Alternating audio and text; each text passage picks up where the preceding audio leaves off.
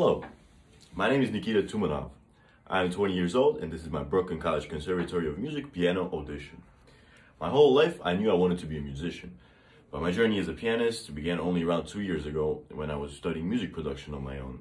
And I found myself lacking keyboard knowledge and keyboard skills, so I started playing some piano and trying to learn, and found myself in love with the piano repertoire and classical music in general.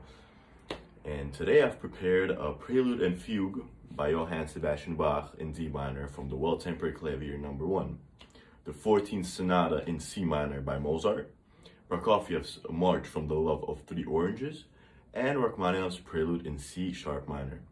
I hope you enjoy.